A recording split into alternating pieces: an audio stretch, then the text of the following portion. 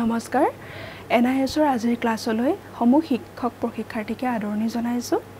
আজি আমি তোমালোকৰ ফাইভ জিৰ' ফ'ৰ পাঠ্যসূচীৰ তিনি নম্বৰ ব্লকৰ এঘাৰ নম্বৰ গোটৰ বিষয়বস্তু আমি আলোচনা কৰিম আৰু তাৰ শিৰোনামা হৈছে মান নিৰূপণৰ বিভিন্ন আহিলা আৰু কৌশল।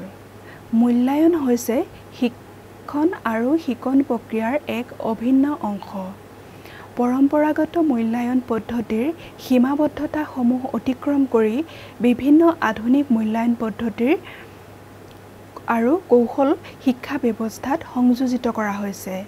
মূল্যায়ন প্ৰক্ৰিয়াত শিক্ষক আৰু শিক্ষাৰ্থীৰ সক্ৰিয় অংশগ্ৰহণ সুনিশ্চিত কৰা মূল্যায়ন প্ৰক্ৰিয়া অধিক আনন্দময় কৰি তোলা আৰু শিক্ষাৰ্থীৰ সৰ্বাংগীন উৎকৰ্ষতাৰ সঠিক গুণগত মূল্যায়ন নিশ্চিত কৰাই হৈছে আধুনিক মূল্যায়ন ব্যৱস্থাৰ মূল উদ্দেশ্য।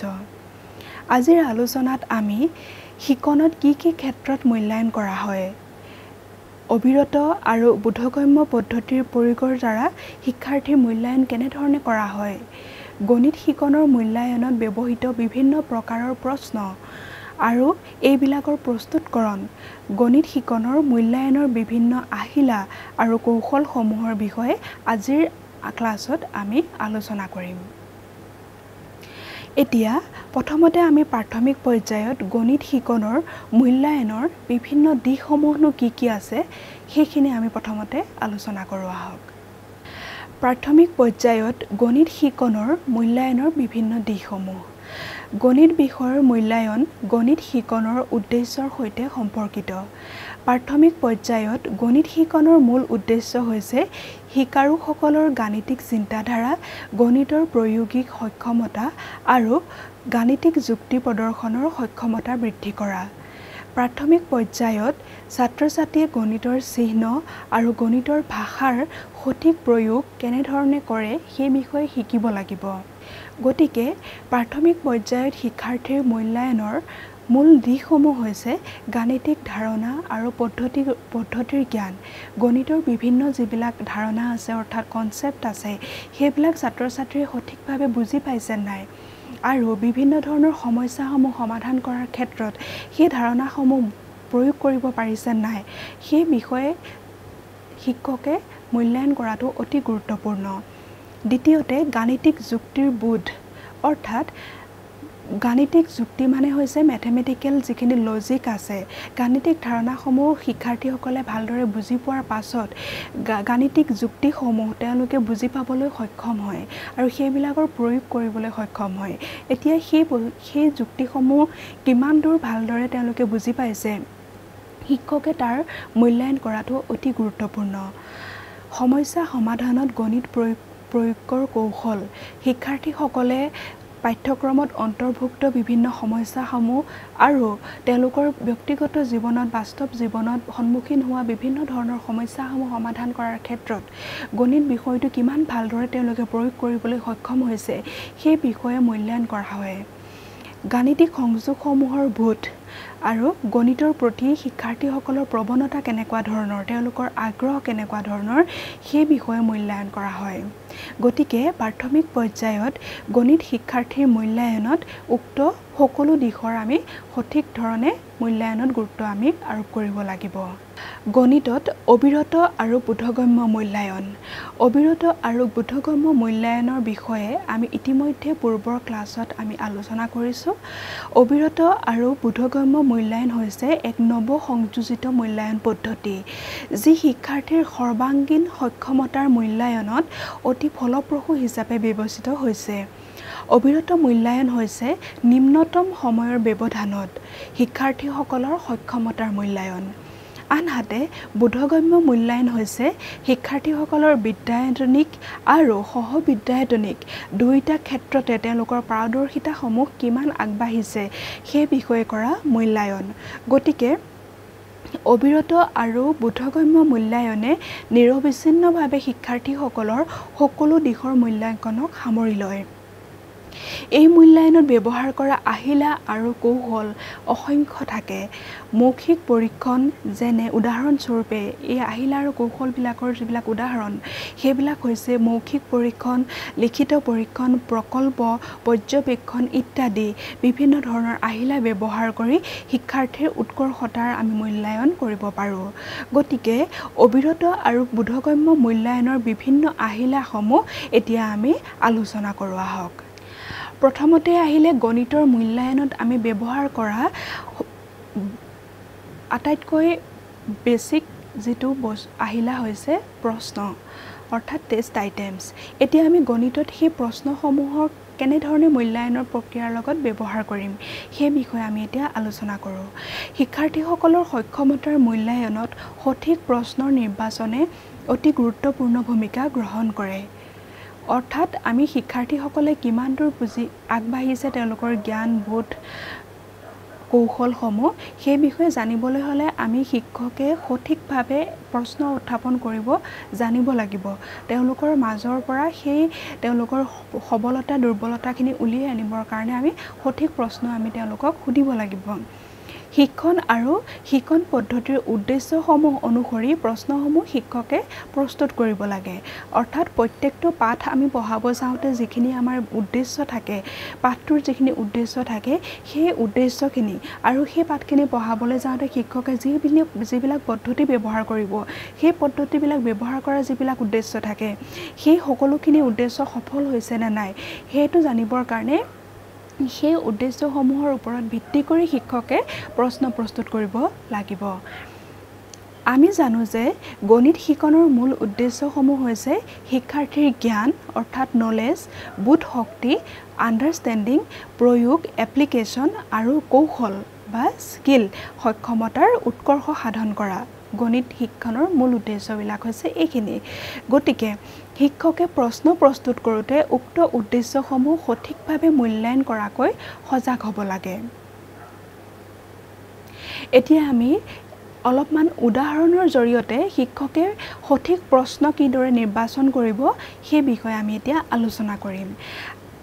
আমি এতিয়া গণিত শিক্ষকে বস্তুনিষ্ঠ প্ৰশ্ন অৰ্থাৎ অবজেক্টিভ বেছড আইটেমছ প্ৰস্তুত কৰাৰ ক্ষেত্ৰত কেনেধৰণে সাৱধানতা অৱলম্বন কৰিব সেই বিষয়ে আমি আলোচনা কৰিম। এতিয়া আমি প্ৰথম এটা প্ৰশ্ন আমি লৈছোঁ উদাহৰণস্বৰূপে যে আটাইতকৈ সৰু মৌলিক সংখ্যাটো কি? এই প্ৰশ্নটো যেতিয়া আমি শিক্ষাৰ্থীক সুধিম তেতিয়া এই প্ৰশ্নই শিক্ষাৰ্থীৰ স্মৰণ শক্তিৰ সক্ষমতা পৰীক্ষা কৰিব। অৰ্থাৎ শিক্ষাৰ্থীসকলে কিমান দূৰ মনত ৰাখিব পাৰিছে কথাবিলাক। সেই বস্তুটো এই প্ৰশ্নটোৱে মূল্যায়ন কৰিব। গতিকে এইটো এটা জ্ঞান পৰীক্ষণৰ বাবে কৰা প্ৰশ্ন। দ্বিতীয়তে আমি আন এটা প্ৰশ্ন আমি ল'লোঁ। ধৰা হ'ল ত্ৰিভুজৰ তিনিটা অন্তস্থ কোণৰ সমষ্টি কিমান? আমি চাৰিটা অপশ্যন দিলোঁ চাৰিটা আমি বিকল্প দিলোঁ যে ninety degree one eighty degree two seventy degree আৰু থ্ৰী ছিক্সটি ডিগ্ৰী এতিয়া এই প্ৰশ্নটো যদি আমি মন কৰোঁ তেতিয়াহ'লে আমি দেখিম যে এই প্ৰশ্নটো মনত ৰখাৰ ওপৰত পোনপটীয়াকৈ নিৰ্ভৰশীল নহয়। এই প্ৰশ্নটোৰ উত্তৰ দিবৰ কাৰণে ছাত্ৰ ছাত্ৰীয়ে ত্ৰিভুজৰ কোণৰ লগত জড়িত যিখিনি তাত্ত্বিক নিয়ম থিয়ৰিটিকেল যিখিনি নীতি নিয়ম আছে সেইখিনি জানিব লাগিব। গতিকে ত্ৰিভুজৰ গোটেই ধাৰণাটো শিক্ষাৰ্থীসকলে ভালদৰে বুজি পোৱাৰ পাছতহে এই প্ৰশ্নটোৰ উত্তৰ দিবলৈ তেওঁলোক সক্ষম হ'ব। গতিকে এই প্ৰশ্নটো এটা বোধভিত্তিক প্ৰশ্ন অৰ্থাৎ আণ্ডাৰষ্টেণ্ডিং বেছড কুৱেশ্যন গতিকে শিক্ষকে প্ৰশ্নবিলাক নিৰ্বাচন কৰোঁতে ছাত্ৰ ছাত্ৰীৰ জ্ঞান নে বোধ শক্তি কোনটো মূল্যায়ন কৰিব বিচাৰিছে সেই ক্ষেত্ৰত সজাগ হ'ব লাগিব। তাৰপিছত আমি আৰু এটা উদাহৰণ আমি ল'লোঁ যেনে যদি এটা আয়তৰ দিশ আৰু প্ৰস্থ দুগুণে বাঢ়ে তেন্তে আয়তটোৰ কালি হ'ব। আমি চাৰিটা বিকল্প আমি দিলোঁ। প্ৰথমটো হৈছে দুগুণ বৃদ্ধি হয় দ্বিতীয়তে দুগুণ কমে তৃতীয়তে চাৰিগুণ বৃদ্ধি হয় চতুৰ্থতে চাৰিগুণ কমে। এতিয়া আমি সঠিক উত্তৰটো বিচাৰ নিৰ্বাচন কৰিবৰ কাৰণে তেওঁলোকক প্ৰশ্নটো দিলোঁ। এতিয়া এই প্ৰশ্নটোৱে উত্তৰ যেতিয়া শিক্ষাৰ্থীসকলে কৰিবলৈ যত্ন কৰিব তেতিয়া শিক্ষাৰ্থীসকলে আয়তৰ যিটো ধাৰণা তাৰ জ্ঞান আৰু বোধ এই দুয়োটাই ক্ষমতাৰে প্ৰয়োগ কৰিব লাগিব। গতিকে এই প্ৰশ্নটোৱে শিক্ষাৰ্থীৰ প্ৰয়োগ ক্ষমতাৰ সঠিক মূল্যায়ন কৰিব। তেওঁলোকে আয়তৰ বিষয়ে যিখিনি বুজিলে আয়তৰ ধাৰণাটো যিমান বুজিলে কিমানখিনি তেওঁলোকে মনত ৰাখিলে সেই দুয়োটা বস্তু একেলগে প্ৰয়োগ কৰিলেহে এই প্ৰশ্নটোৰ উত্তৰ তেওঁলোকে নিৰ্বাচন কৰিব পাৰিব। গতিকে এইটো এটা প্ৰয়োগ ভিত্তিক প্ৰশ্ন। আৰু চতুৰ্থতে আমি আন এটা প্ৰশ্ন আমি ল'লোঁ যেনে তলৰ কোনটো চৰ্তত এ বি চি এটা ত্ৰিভুজ নহয়? প্ৰথম বিকল্পটো আমি দিলোঁ A B equal four C centimetre B C equal four centimetre C A equal three centimetre দ্বিতীয় বিকল্পটোত আমি দিছোঁ A B equal six centimetre B C equal five centimetre C A equal three centimetre আৰু তৃতীয় বিকল্পটো আমি দিছোঁ A B equal five centimetre B C equal four centimetre আৰু C A equal one centimetre এতিয়া এই প্ৰশ্নটোৰ উত্তৰ কৰিবলৈ শিক্ষাৰ্থীয়ে ত্ৰিভুজ অংকনৰ কৌশলটো জানিব লাগিব। অৰ্থাৎ স্কিলটো তেওঁলোকৰ থাকিব লাগিব কৌশল থাকিব লাগিব। গতিকে এই প্ৰশ্নটোৱে শিক্ষাৰ্থীসকলৰ কৌশলৰ মূল্যায়ন কৰিব। গতিকে শিক্ষকে সদায় প্ৰশ্নখিনি নিৰ্বাচন কৰোঁতে প্ৰশ্নটোৱে শিক্ষাৰ্থীসকলৰ কোনটো দক্ষতা মূল্যায়ন কৰিবলৈ কৈছে সেইটো আগতীয়াকৈ জানিব লাগিব। গতিকে এইটো এটা উদাহৰণ। ইয়াৰ জৰিয়তে আমি বস্তুনিষ্ঠ প্ৰশ্নৰ ক্ষেত্ৰত কেনেধৰণৰ সতৰ্কতা শিক্ষকে অৱলম্বন কৰিব সেই বিষয়ে আমি জানিলোঁ। এতিয়া প্ৰশ্নৰ কথা বিষয় আমি যিহেতু আলোচনা কৰি আছোঁ গতিকে আমি আৰু এট আৰু কিছুমান কথা আমি এতিয়া আলোচনা কৰিম। প্ৰশ্নবিলাক দুই ধৰণৰ আমি নিৰ্বাচন কৰিব পাৰোঁ। এটাৰ নাম দিয়া হৈছে বন্ধ অন্তঃ প্ৰশ্ন অৰ্থাৎ ক্ল'জ এণ্ডেড আইটেম আৰু দ্বিতীয়টো হৈছে মুক্ত অন্তঃ প্ৰশ্ন আৰু ইংৰাজীত অ'পেন এণ্ডেড আইটেম এতিয়া বন্ধ অন্তঃ প্ৰশ্ন কোনখিনি? সেই বিষয়ে আমি আলোচনা কৰোঁ। যিবিলাক প্ৰশ্নৰ উত্তৰ অদ্বিতীয় আৰু নিৰ্দিষ্ট হয় তেনেধৰণৰ প্ৰশ্নক বন্ধ অন্ত প্ৰশ্ন বোলে।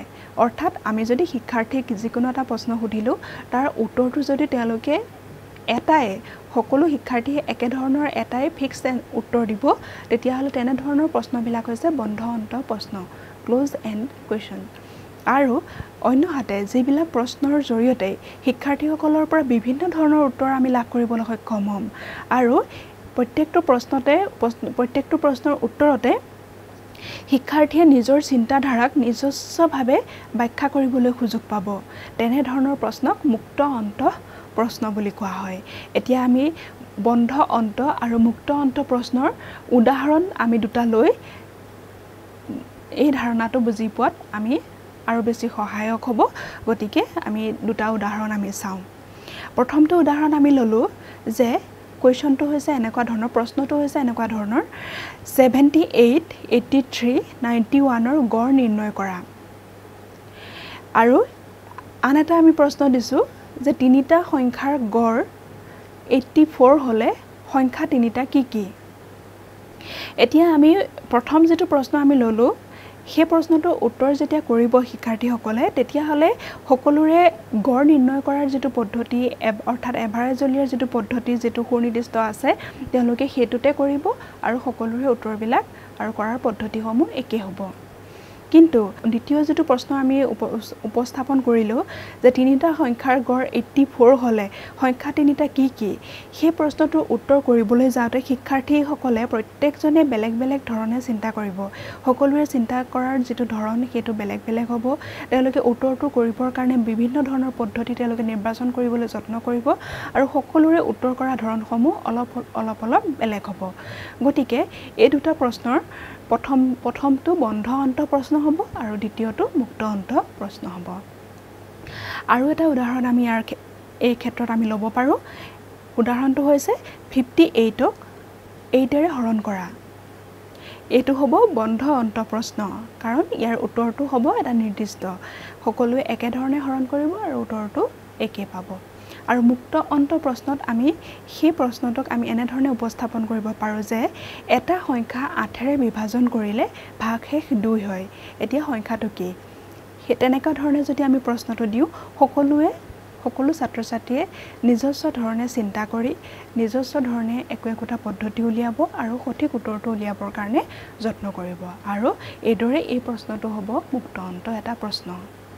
গতিকে আমি এই আলোচনাৰ পৰা বন্ধ অন্ত প্ৰশ্ন আৰু মুক্ত অন্ত প্ৰশ্নৰ আমি যিটো পাৰ্থক্য সেইটো আমি সংজ্ঞাৰ দ্বাৰা আৰু উদাহৰণৰ দ্বাৰা আমি দাঙি ধৰিলোঁ। এতিয়া আমি এই দুইটা প্ৰশ্নৰ তুলনা যদি কৰোঁ তেতিয়াহ'লে মুক্ত অন্ত প্ৰশ্ন বেছি ভাল মূল্যায়নৰ কাৰণে অধিক উপযোগী বুলি আমি বিবেচনা কৰিব পাৰোঁ। গতিকে আমি উক্ত উদাহৰণসমূহ ভালদৰে মন কৰিলে আমি দেখিম যে মুক্ত অন্ত প্ৰশ্নবোৰৰ উত্তৰ এটাতকৈ বেছি হ'ব। গতিকে এনে প্ৰশ্ন শিক্ষাৰ্থীৰ ব্যক্তিগত গাণিতিক চিন্তাৰ বিকাশ ঘটায়। ব্যক্তিগত পৰ্যায়ত শিক্ষাৰ্থীসকলে বেলেগ বেলেগ ধৰণে প্ৰশ্নটোৰ উত্তৰ কৰাৰ পদ্ধতি চিন্তা কৰিবলৈ সুযোগ পায় মুক্ত অন্ত প্ৰশ্নৰ জৰিয়তে। সমস্যা সমাধানৰ এটাতকৈ বেছি উপায় নিৰ্ণয় কৰাত সহায় কৰে মুক্ত অন্ত প্ৰশ্নই। আৰু শিক্ষাৰ্থীসকলক নিজে সিদ্ধান্ত লোৱাত সহায় কৰে মুক্ত অন্ত প্ৰশ্নই। ছাত্ৰ ছাত্ৰীৰ মনত এনে প্ৰশ্নই সৃষ্টিমূলক ভাৱ সৃষ্টি সৃষ্টিমূলক কল্পনা শক্তি আৰু মনৰ দৃঢ়তা বৃদ্ধি কৰে। তেওঁলোকৰ মাজত আত্মবিশ্বাসৰ বৃদ্ধি কৰে। গতিকে মুক্ত অন্ত প্ৰশ্নসমূহে মূল্যায়ন কৰোঁতে অধিক গুৰুত্ব পোৱাটো অতি প্ৰয়োজন। এতিয়া গণিত গণিতৰ মূল্যায়নত প্ৰশ্নমালা প্ৰস্তুতকৰণৰ গুৰুত্ব। আমি কিয় প্ৰশ্নমালা প্ৰস্তুত কৰিবলগীয়া হয়? গণিতৰ মূল্যায়ন কৰোঁতে সেই বিষয়ে আমি আলোচনা কৰিম। শিক্ষকে মূল্যায়ন প্ৰক্ৰিয়া সুগম কৰিবলৈ শিক্ষকৰ হাতত বৃহৎ পৰিমাণৰ প্ৰশ্ন থকাটো অতি দৰকাৰ। প্ৰশ্নৰ উৎসবিলাক শিক্ষকে প্ৰস্তুত কৰোঁতেই প্ৰশ্নৰ উৎসবিলাক বিভিন্ন ধৰণৰ হ'ব পাৰে। যেনে পাঠ্যপুথিত সন্নিৱিষ্ট প্ৰশ্নসমূহ শিক্ষকে নিজে প্ৰস্তুত কৰা প্ৰশ্নসমূহ পাঠদানৰ সময়ত শিক্ষাৰ্থীৰ পৰা অহা প্ৰশ্নসমূহ বিদ্যালয়ৰ অন্য শিক্ষকৰ লগত বিনিময় কৰি কৰা প্ৰশ্নসমূহ। এইদৰে বিভিন্ন উৎসৰ পৰা শিক্ষকে প্ৰশ্নসমূহ একগোট কৰিব আৰু নিজাকৈ এটা মানে প্ৰশ্ন ভাণ্ডাৰ সৃষ্টি কৰিব। এইদৰে বিভিন্ন প্ৰশ্নবোৰ সংগৃহীত কৰাৰ পাছত শিক্ষকে এই প্ৰশ্নবোৰ প্ৰকাৰ অনুসৰি বিভিন্ন ভাগত ভাগ কৰি প্ৰত্যেক শ্ৰেণীৰ বাবে একো একোখন প্ৰশ্ন ভাণ্ডাৰ প্ৰস্তুত কৰি ল'ব লাগে। এইদৰে প্ৰত্যেক বিদ্যালয়ে নিজে নিজে একো একোটা প্ৰশ্ন ভাণ্ডাৰ প্ৰস্তুত কৰা উচিত। শিক্ষকে নিজৰ নিজৰ সৃষ্টিশীল উপায়েৰে সেই প্ৰশ্নসমূহ শ্ৰেণীকোঠাত ব্যৱহাৰ কৰি মূল্যায়ন প্ৰক্ৰিয়া আগবঢ়াই নিব লাগে।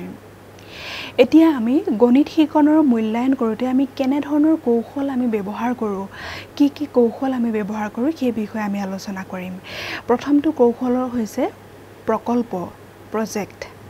প্ৰকল্প হৈছে এনে কিছুমান ক্ৰিয়াকলাপ যিয়ে স্বাভাৱিকভাৱে প্ৰতিষ্ঠিত হোৱা সমস্যা সমাধান কৰাত সহায় কৰে। ই এক নিৰ্দিষ্ট সময়সীমাৰ ভিতৰত তথ্য সংগ্ৰহ কৰি তাক ব্যাখ্যা আৰু বিশ্লেষণৰ সৈতে ছাত্ৰ ছাত্ৰীক জড়িত কৰোৱাৰ এটা প্ৰক্ৰিয়া। প্ৰকল্পই ছাত্ৰ ছাত্ৰীৰ মনত বাস্তৱ জীৱনৰ সৈতে গাণিতিক ধাৰণাৰ সম্পৰ্কৰ মূল্য জগাই তোলে। প্ৰকল্পত উপলব্ধ জ্ঞানৰ প্ৰায়োগিক দক্ষতাৰ মূল্যাংকন নিৰূপিত হয়।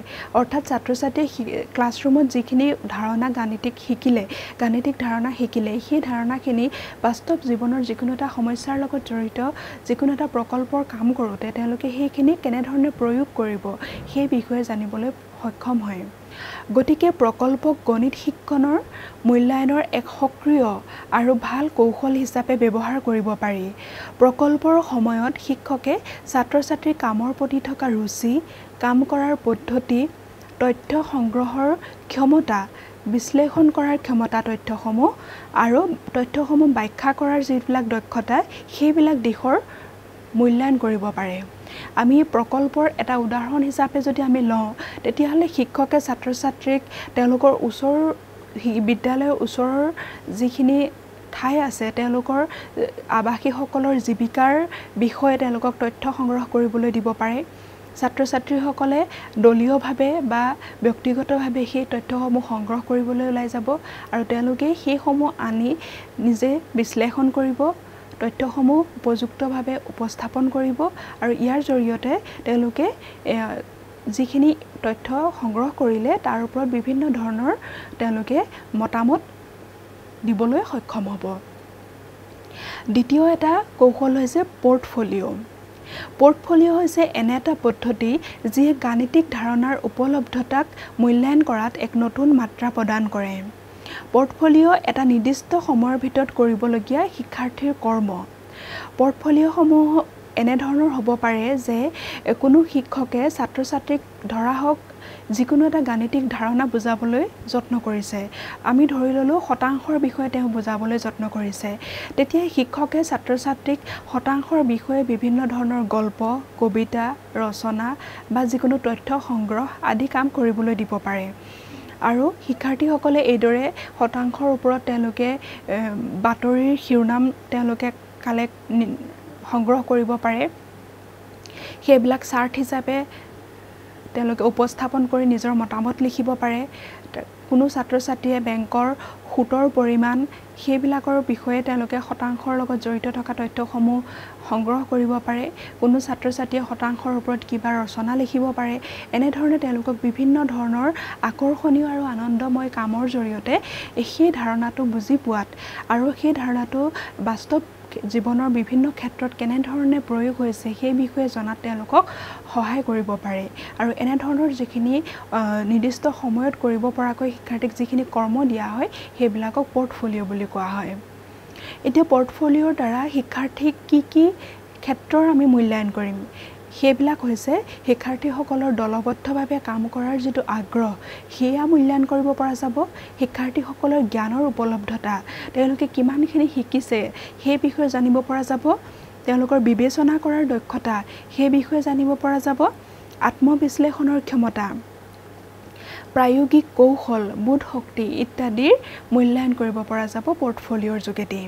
গতিকে আমি দেখা পাওঁ যে শিক্ষাৰ্থীসকলৰ মূল্যায়নৰ ক্ষেত্ৰত পৰ্টফলিঅ'ক শিক্ষকসকলে এটা কৌশল হিচাপে সুন্দৰভাৱে ব্যৱহাৰ কৰিব পাৰে।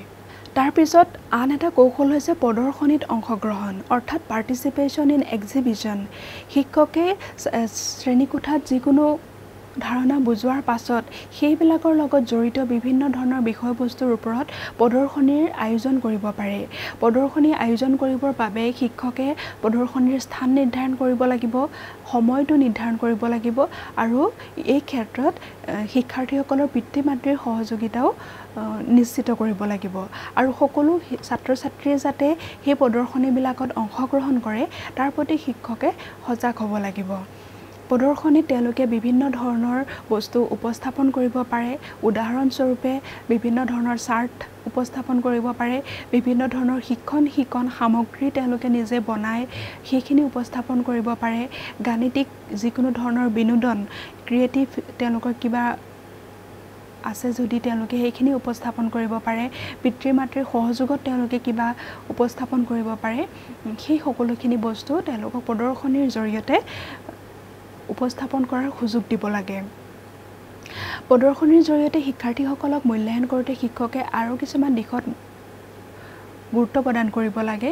সেইবিলাক হৈছে যে শিক্ষাৰ্থীসকলে ক্লাছত বুজোৱা বিষয়বস্তুবিলাকৰ লগত জড়িত বিষয় নিৰ্বাচন কৰিছে নে নাই। তেওঁলোকৰ সৃষ্টিশীলতা আৰু উপস্থাপনৰ স্বকীয়তা প্ৰকাশ পাইছেনে নাই? আৰু তেওঁলোকে মানুহক আকৰ্ষণ কৰিব পৰাকৈ বিষয়বস্তুখিনি উপস্থাপন কৰিব পাৰিছেনে নাই? এইবিলাক দিশ প্ৰদৰ্শনীৰ জৰিয়তে যেতিয়া তেওঁলোকে যিকোনো কাম কৰিব ছাত্ৰ ছাত্ৰীসকলে এইখিনি দিশ শিক্ষকে গুৰুত্ব প্ৰদান কৰিব। এতিয়া শিক্ষাৰ্থীসকলৰ শিকনৰ বিনিময় প্ৰদৰ্শনীৰ জৰিয়তে শিক্ষাৰ্থীসকলে নিজে কি শিকিলে সেইখিনি নিজৰ সহপাঠীৰ লগত শিক্ষকৰ লগত আৰু প্ৰদৰ্শনীৰ বাকী অন্যান্য ব্যক্তিসকলৰ লগত বিনিময় কৰিবলৈ সক্ষম হয়। আৰু মূল্যায়নৰ বাবে আমি গণিতৰ বিভিন্ন মডেল বিভিন্ন সূত্ৰ আৰু ধৰ্মৰ বাস্তৱ প্ৰয়োগ আদি বিভিন্ন বিষয়ত আমি প্ৰদৰ্শনী আয়োজন কৰাৰ ক্ষেত্ৰত তেওঁলোকক উৎসাহিত কৰিব পাৰোঁ। তাৰ তাৰপিছত আন এটা কৌশল হৈছে গাণিতিক কুইজ আৰু খেল। আমি জানো যে শিক্ষাৰ্থীসকলক যিকোনো বস্তু অংশগ্ৰহণ অধিক সুনিশ্চিত কৰিবৰ কাৰণে তেওঁলোকক অধিক আকৰ্ষণীয় আৰু আনন্দময় পৰিৱেশৰ ব্যৱস্থা কৰিব লাগিব। গতিকে গাণিতিক কুইজ আৰু গাণিতিক বিভিন্ন খেলসমূহ ইয়াৰ বাবে এটা অতি গুৰুত্বপূৰ্ণ কৌশল হিচাপে আমি ব্যৱহাৰ কৰিব পাৰোঁ। তেওঁলোকৰ সামাজিক অংশগ্ৰহণৰ বিভিন্ন দিশসমূহ তেওঁলোকৰ ব্যক্তিত্বৰ বিভিন্ন দিশসমূহ মূল্যায়ন কৰিবৰ কাৰণে এনেধৰণৰ আনন্দময় পৰিৱেশ বা এনেকুৱা ধৰণৰ খেলা বা কুইজ আদিৰ পৰিৱেশ অধিক মানে উপযুক্ত বুলি বিবেচনা কৰা হয়। গাণিতিক কুইজ অনু অনুষ্ঠিত কৰিবলৈ হ'লে শিক্ষকে তেওঁলোকক বিভিন্ন ধৰণৰ তেওঁলোকৰ ক্লাছত শিকোৱা ধাৰণাবিলাকৰ লগত জড়িত বিষয়বস্তুৰ ওপৰত কুইজ অনুষ্ঠিত কৰিব পাৰে। গণিতৰ লগত জড়িত যিখিনি সাধাৰণ জ্ঞান থাকে বিভিন্ন গণিতজ্ঞসকলৰ বিষয়ে বিভিন্ন তথ্য বাস্তৱ জীৱনত প্ৰয়োগ হোৱা বিভিন্ন ধৰণৰ গণিতৰ তথ্য সেইবিলাকৰ ওপৰত তেওঁলোকক প্ৰশ্ন সুধিব পাৰে। কুইজ প্ৰস্তুত কৰোঁতে কুইজ কুইজত অংশগ্ৰহণ কৰোঁতে তেওঁলোকক ইংগিত প্ৰশ্নৰ উত্তৰ কৰোঁতে ইংগিত বিশিষ্ট ইংগিতযুক্ত প্ৰশ্ন সুধিব পাৰে ইংগিত নোহোৱা প্ৰশ্ন সুধিব পাৰে কাগজ কলম ব্যৱহাৰ কৰিব পৰা ধৰণৰ প্ৰশ্ন সুধিব পাৰে কাগজ কলম ব্যৱহাৰ কৰিব নোৱাৰা ধৰণৰ প্ৰশ্ন সুধিব পাৰে। ইয়াৰ উপৰি কুইজ গাণিতিক কুইজ আৰু বেছি আকৰ্ষণীয় কৰিবৰ কাৰণে শিক্ষকে দৃশ্য শ্ৰাব্য মাধ্যম অৰ্থাৎ অডিঅ' ভিজুৱেল যিকোনো ধৰণৰ মাধ্যম যদি ব্যৱহাৰ কৰে তেতিয়া কুইজ গাণিতিক কুইজ আৰু বেছি আকৰ্ষণীয় হয়। গতিকে এই এই ধৰণৰ যিবিলাক কাৰ্যকলাপ সেইবিলাকত শিক্ষাৰ্থীসকলে কেনেধৰণে অংশগ্ৰহণ কৰিছে তেওঁলোকৰ পাৰদৰ্শিতাসমূহ কেনেধৰণে প্ৰদৰ্শন কৰিছে সেই বিষয়ে শিক্ষকে মূল্যায়ন কৰিবলৈ সক্ষম হয়। আৰু গাণিতিক খেলসমূহ বিভিন্ন ধৰণৰ গাণিতিক ধাৰণাৰ লগত জড়িত বিভিন্ন গাণিতিক খেলসমূহ অনুষ্ঠি অনুষ্ঠিত কৰি তাত শিক্ষাৰ্থীসকলৰ অংশগ্ৰহণটো কেনেকুৱা ধৰণৰ হয় প্ৰত্যেকৰে অৰিহণাবিলাক কেনেকুৱা ধৰণৰ হয় সেইবিলাক শিক্ষকে সহজে মূল্যায়ন কৰা হয়। গতিকে গাণিতিক কুইজ আৰু গাণিতিক খেল ছাত্ৰ ছাত্ৰীৰ মূল্যায়নৰ ক্ষেত্ৰত প্ৰয়োগ কৰিব পৰা অতি এটা গুৰুত্বপূৰ্ণ আৰু আকৰ্ষণীয় আহিলা। তাৰপিছতে আহিলে শিক্ষাৰ্থীৰ কাৰ্যকলাপৰ পৰ্যবেক্ষণ। শিক্ষাৰ্থীসকলক পাঠ পাঠদান কৰি থকাৰ সময়ত বিভিন্ন কাৰ্যকলাপ যেনে তেওঁলোকে শিক্ষকক কেনেধৰণৰ প্ৰশ্ন কৰে কি কি ধৰণৰ প্ৰশ্ন কৰে বিষয় কিবা এটা বিষয় যদি তেওঁলোকক সোধা হয় তেওঁলোকে সেই বিষয়বিলাক কেনেধৰণে বৰ্ণনা কৰে ইত্যাদিবিলাক শিক্ষকে পৰ্যবেক্ষণ কৰি তেওঁলোকৰ গঠনমূলক মূল্যায়ন কৰিব পাৰি। পৰ্যবেক্ষণৰ জৰিয়তে ছাত্ৰ ছাত্ৰীৰ সামাজিক সামাজিক দিশসমূহ আৰু তেওঁলোকৰ ব্যক্তিত্বৰ বিভিন্ন দিশসমূহ শিক্ষকে সহজে পৰ্যবেক্ষণ কৰিব পাৰে। তেখেতে পৰ্যবেক্ষণ কৰা দিশসমূহ নিজৰ টোকা বহীত টুকি থ'ব পাৰে। আৰু পৰ্যবেক্ষণ কৰোঁতে শিক্ষকে ছাত্ৰ ছাত্ৰীয়ে গম নোপোৱাকৈ গম নোপোৱাকৈ পৰ্যবেক্ষণ কৰিব পাৰে নাইবা শিক্ষকে ছাত্ৰ ছাত্ৰীসকলৰ লগত বিভিন্ন কাৰ্যকলাপত নিজে অংশগ্ৰহণ কৰি তেওঁলোকৰ মাজৰে এজন ব্যক্তি হিচাপে অংশগ্ৰহণ কৰি তেওঁলোকক পৰ্য মূল্যায়ন কৰিব পাৰে। গতিকে অবজাৰ্ভেশ্যন বা অবজাৰ্ভেশ্যন বা পৰ্যবেক্ষণ শিক্ষাৰ্থীসকলক মূল্যায়ন কৰাৰ এটা অতি সহজলভ্য কৌশল বা আহিলা। এতিয়া আমি উক্ত আলোচনাৰ পৰা আমি শিক্ষাৰ্থীসকলৰ মূল্যায়ন কৰিবৰ কাৰণে আমি কি কি ধৰণৰ ব্যৱস্থা কি কি ধৰণৰ কৌশল আমি ব্যৱহাৰ কৰিব পাৰোঁ সেই বিষয়ে আমি শিকিলোঁ। গতিকে আমি প্ৰাথমিক পৰ্যায়ত গণিত শিকনৰ মূল্যায়নৰ বিভিন্ন আহিলা আৰু কৌশলসমূহৰ বিষয়ে আমি বিতংকৈ জ্ঞান লাভ কৰিলোঁ। গতিকে শিক্ষকে উক্ত কৌশলসমূহ ভালদৰে নিজে আয়ত্ব কৰি ল'ব লাগে। আৰু সেইবিলাক শ্ৰেণীকোঠাত ছাত্ৰ ছাত্ৰীক মূল্যায়নৰ ক্ষেত্ৰত আমি সঠিকভাৱে প্ৰয়োগ কৰিব লাগে। যাতে ছাত্ৰ ছাত্ৰীৰ সঠিক মূল্যায়ন হয় আৰু তেওঁ শিক্ষক শিক্ষকসকলৰ নিজৰ শিক্ষণ পদ্ধতিৰ মূল্যায়ন হয়। তেওঁলোকে নিজকে আৰু বেছি উন্নত উন্নীতকৰণ কৰিব পাৰে নিজৰ পদ্ধতিসমূহ। গতিকে সেইখিনি ভালদৰে আয়ত্ব কৰি সেইখিনি প্ৰয়োগ কৰাৰ ক্ষেত্ৰত শিক্ষকসকলে নিজৰ নিজে বদ্ধপৰিকৰ হোৱা উচিত। ধন্যবাদ।